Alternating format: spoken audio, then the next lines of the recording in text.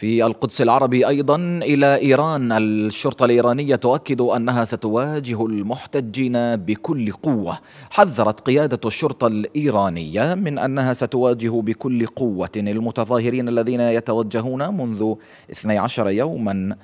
يحتجون على وفاة الشاب مهسا أميني ويتواجدون في الميادين والشوارع التي كانت موقوفة لدى شرطة الأخلاق. وقالت القيادة في بيان اليوم يسعى أعداء جمهورية إيران الإسلامية وبعض مثيري الشغب إلى العبث بالنظام العام وأمن الأمة باستخدام ذرائع مختلفة وأضافت عناصر الشرطة سيواجهون بكل قواتهم مؤامرات مناهضي الثورة والعناصر المعادين وسيتصرفون بحزم ضد من يخلون بالنظام العام وبالأمن في كل أنحاء البلاد.